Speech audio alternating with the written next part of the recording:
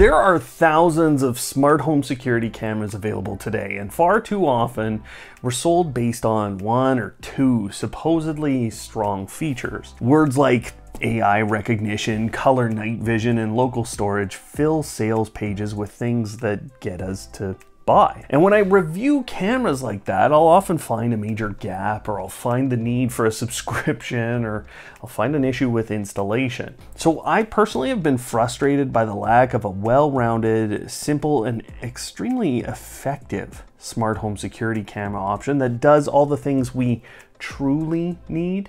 And when I received the pack of wire-free mag cams from Tapo, I thought I was getting another system that could do a couple things well because I had used TP-Link cameras in the past and hadn't been all that excited about their offering. But something has come together for this company. I want to show you how simple and easy and effective smart home cameras should be through a breakdown of how these work today. One of the biggest pain points of cameras today is whether you can actually identify someone. You'd think that would come first, but companies will tout 2K, 4K, or 1080p, but clarity is what matters. Things like lights being in the frame, lighting conditions in general, or the distance ratings of IR LEDs change how things look. These cameras have consistently given me a clear picture in any of those situations, and I've pushed the boundaries with smart lighting being in frame. The other big point I've had is the start time of a camera's recording. When we rely on the camera to identify the time to start filming, we often miss most of the event and barely see the person. These are consistently giving me one to two extra seconds of critical footage so I can actually see what happened. Now, a lot of companies are coming out with dual cameras because their field of view is being balanced with resolution and sensor size. They're worried a wide field of view will take away from that clarity, and they're right. This camera has given me a huge field of view, even allowing me to see all the way into my neighbor's driveway while still maintaining that clarity. Something else we see with most cameras is that they are limited in where you can place them by the mounting options and things like IP ratings.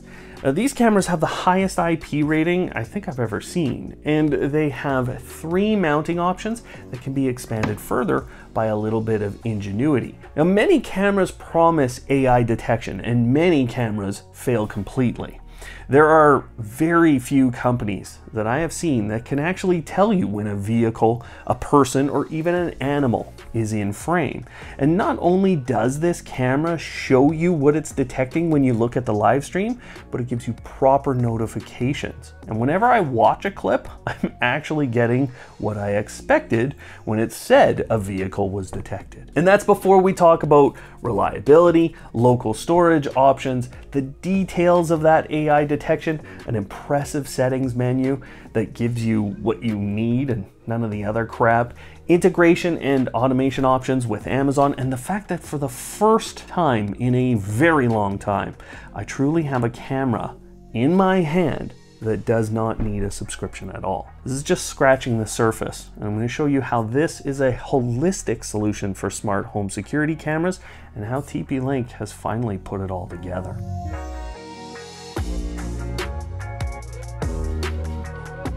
Hello Automators, thanks for tuning in again.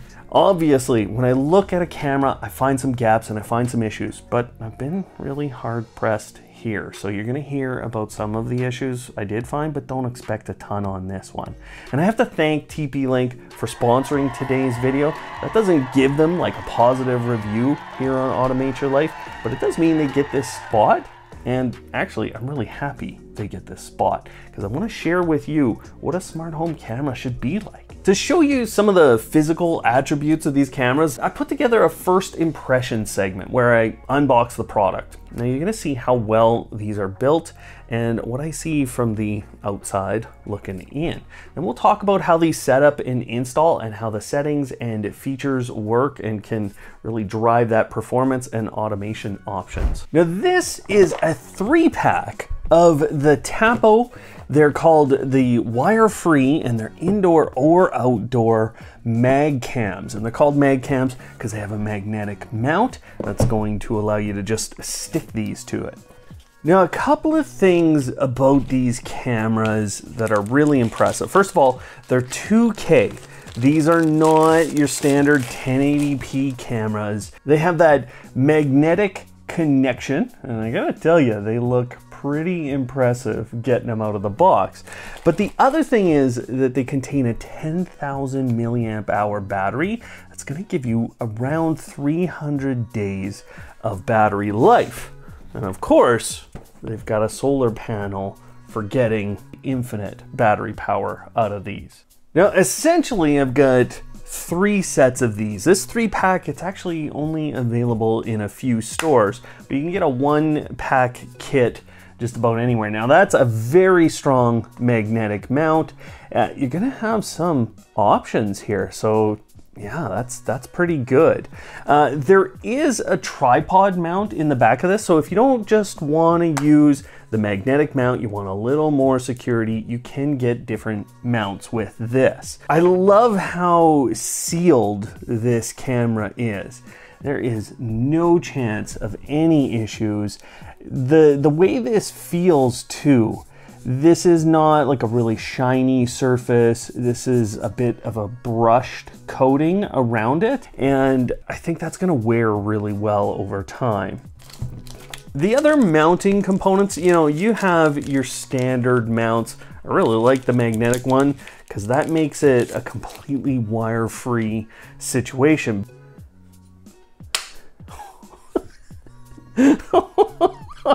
I honestly, I don't know if I can get that off. Oh. the super strong magnets on that. There's also a, a, sticky pad, and of course you have the mounting hardware for all of this. You do get a charging cable, very simple, USB. This is a micro USB. Some people will complain about that. I could care less. And you have essentially three compartments on the top of this. Now, this is another important piece to this because in a lot of cases, you end up spending money on subscription services. Well, you're not gonna have to do that here. This camera is taking a 512 or up to a 512 gigabyte micro SD card to record your clips on. That wouldn't require a service. Now, that is a, a very good sealed compartment, and here's the micro USB port as well. Uh, we have the power button on the top of that. Now, this is called the A200. Oh. wow, guys. I, you know, this is big. Clearly, it's going to keep that camera charged forever.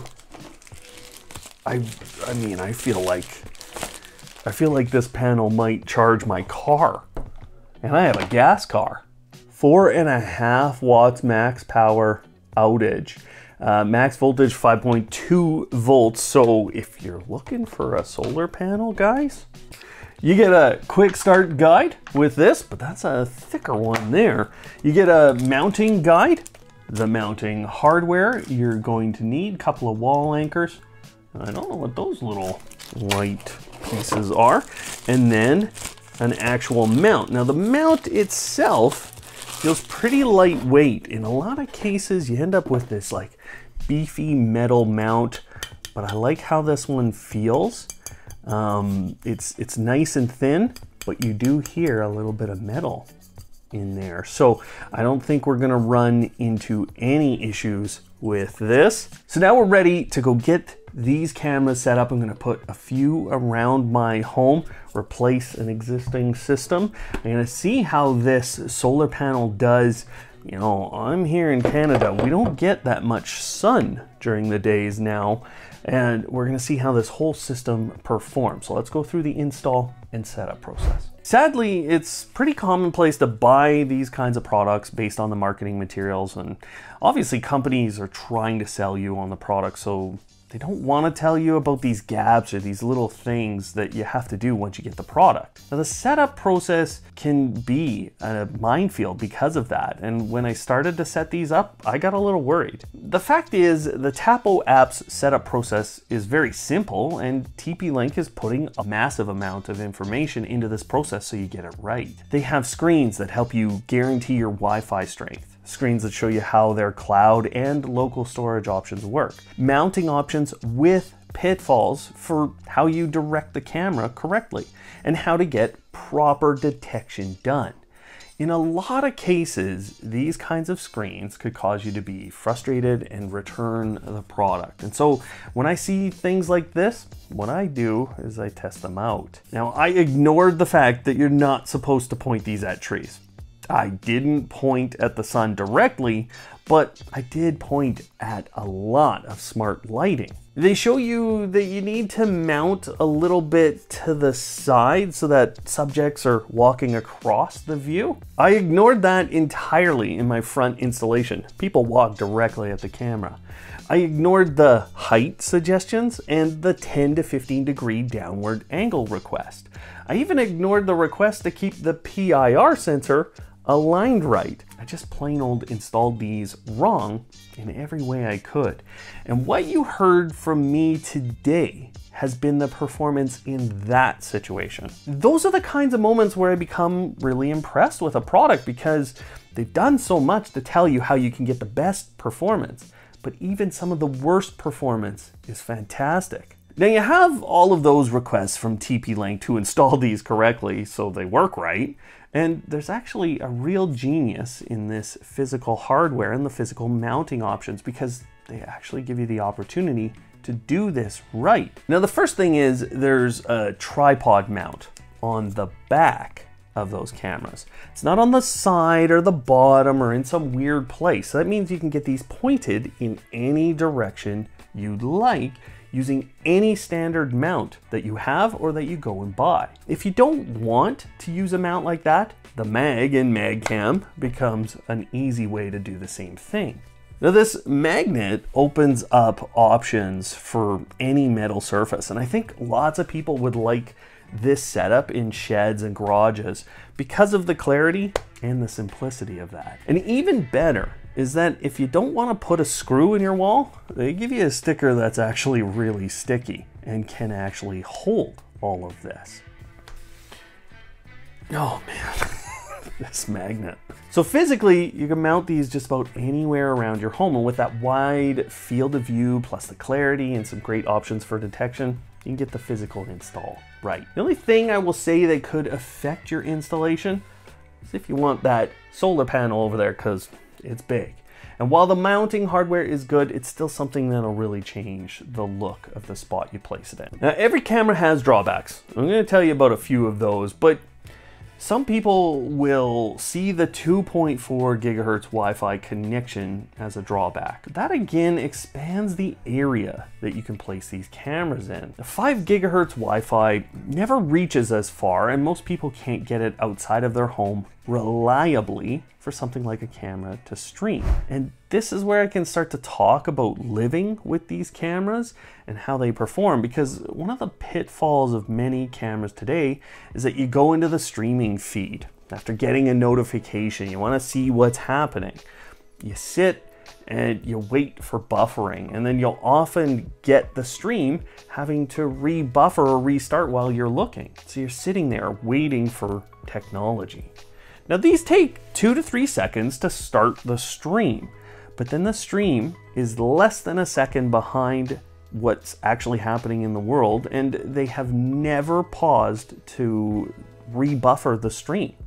That's wild because I've also never changed the stream from that 2K resolution. And with other makers, I've had it where it starts to rebuffer at 360p resolution constantly. And I won't name names here, but the architecture that they've done for the network and the way they're streaming things has been done correctly. That's the really weird thing for me because I've never experienced a network or a streaming issue with these and other makers put like a hub or a DVR box in your home in order to make sure that the cameras can stream right to your phone. But that hasn't been required here, and it's working as well as those systems me. Now with the right features, a standard smart home camera becomes a powerful one. So here's a few ways you can customize this offering and improve the performance. Now on the note of those AI detection options, this one has one of the easiest settings screens to manage the different types of detections you can do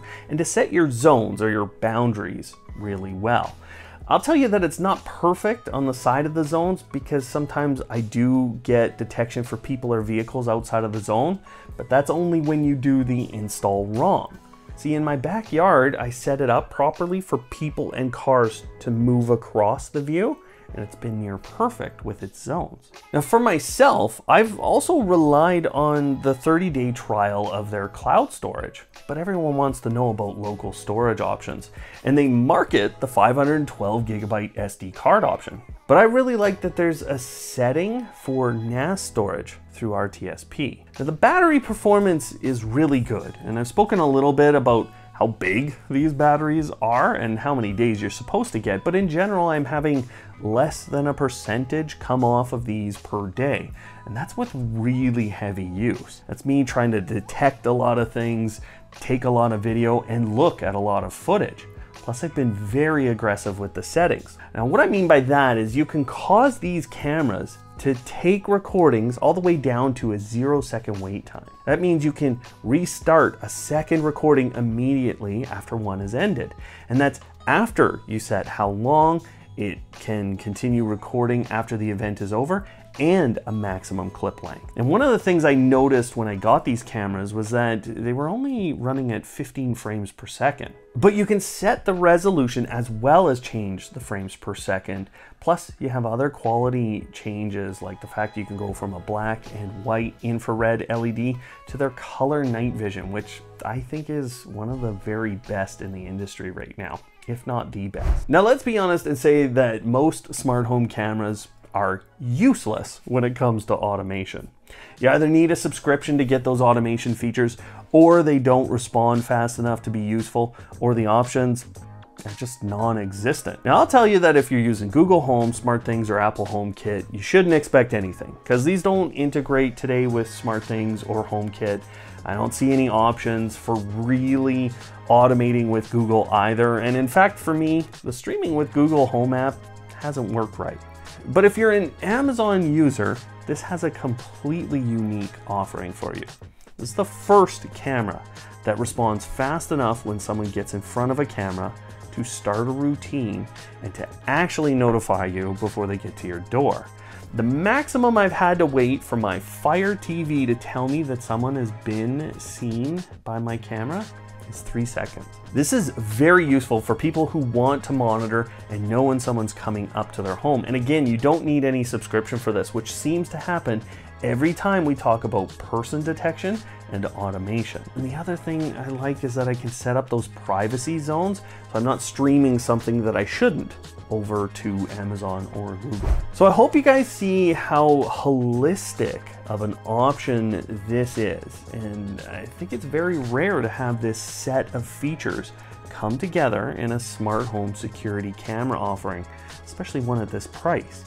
I like a lot about this, and at the very least, I hope you've learned something today. Now, if you want to pick up some of these, all the links are below, and you can get them in some stores physically, so check out the details there in the description. Now, something you always need to pair with smart home cameras is a smart video doorbell, and I've done a comparison of four of the most popular models out there today.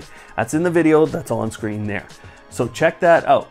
Otherwise, thanks for watching today, and of course, don't hate, automate.